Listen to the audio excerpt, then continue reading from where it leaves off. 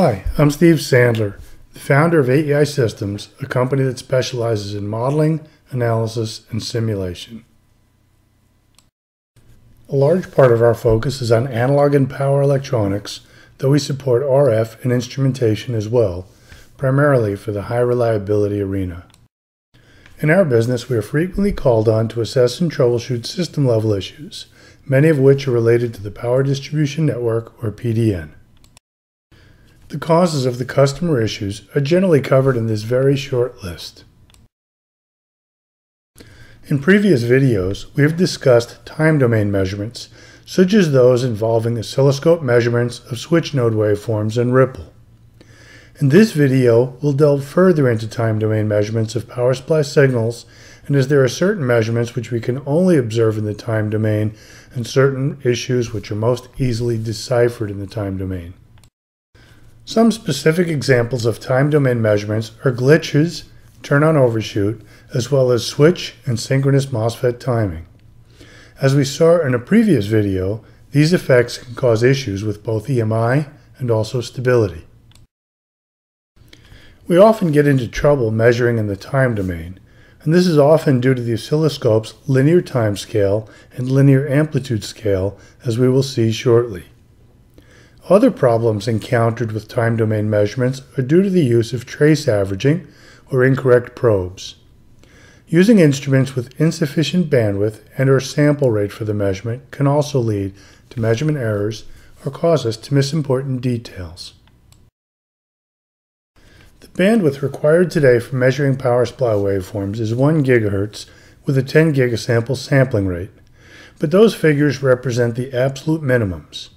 If you're buying a new scope and you want it to last a few years, then an instrument with 2 to 4 GHz bandwidth and 20 to 40 gigasamples per second is strongly recommended. Here's a great example of a glitch. Using a high-speed scope with advanced and multi-stage triggers, images like the switch node waveform of a synchronous buck regulator become quite easy to catch, and we do catch quite a few.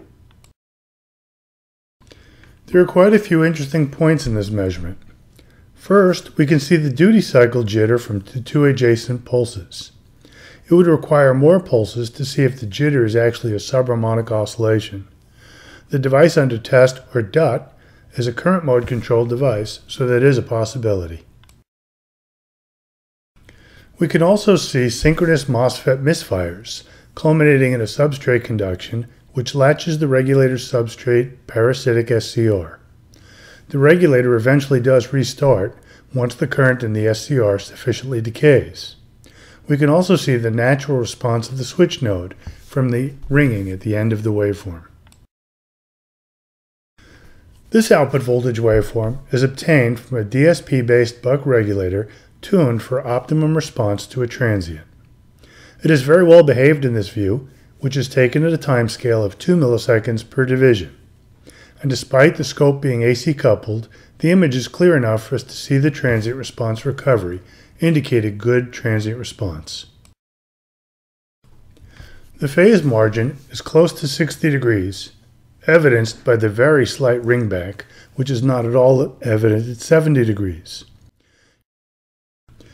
This measurement is the same DSP regulator taken at the same time as the previous image, but displayed on a 200 millisecond per division timescale. This is one of the drawbacks of the linear timescale. These voltage excursions are at 200 millivolts per division. The very nice transient response image is not even visible in this screen. The timescale issue is that we would not see these voltage excursions unless we knew to look for them. Here is yet another image showing a measurement of the output voltage of a linear regulator on a somewhat higher performance scope, a Tektronix MSO 5104. We can clearly see the step load response and ringing, indicative of poor stability margin. We are sampling at 5 megasamples per second, which is reasonable for the 50 microsecond per division timescale and the limited memory we have in the scope. However, this is the same image at a different time scale of 5 microseconds per division at a 20 megasample per second sample rate. The LDIDT spike is a bigger concern than the ringing, and this spike wasn't even evident in the previous screenshot.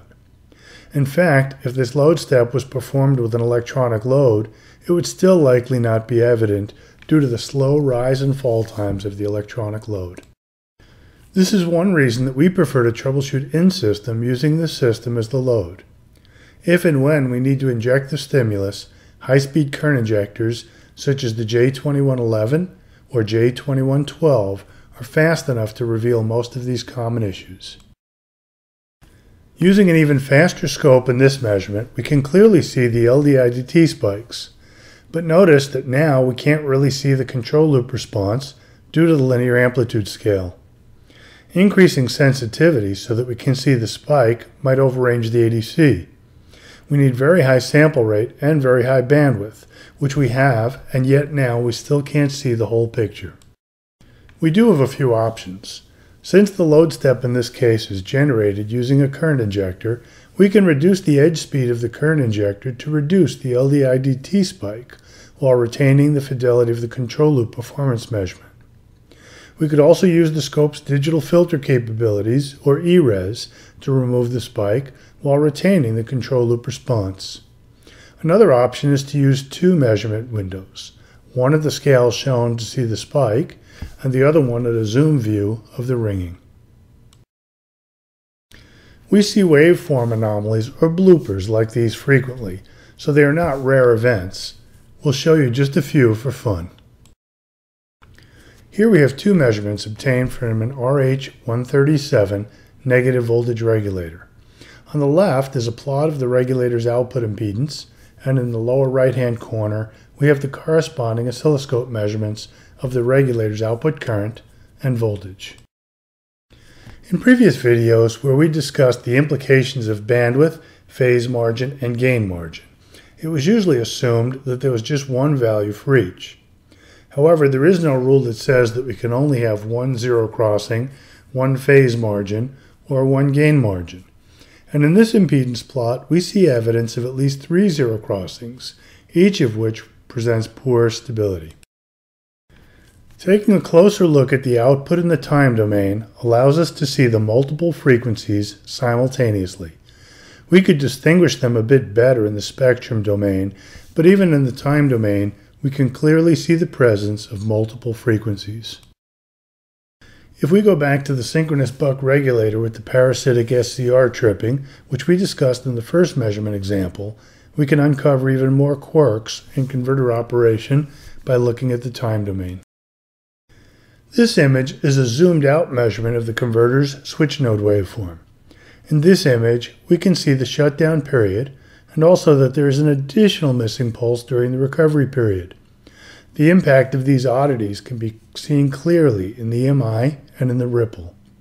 Both reflect signals predominantly at 23 kHz despite the 2.5 MHz switching frequency of the converter.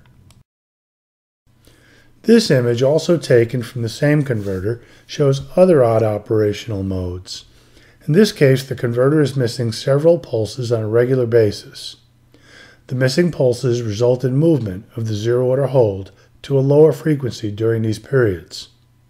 The end result is that the missing pulses will impact output ripple, EMI, and stability performance of the regulator. For those interested in learning more about how to make and interpret time domain measurements, see the references listed here. And if you have any questions about the information presented in this video, please email me at steve at picotest.com. Thank you.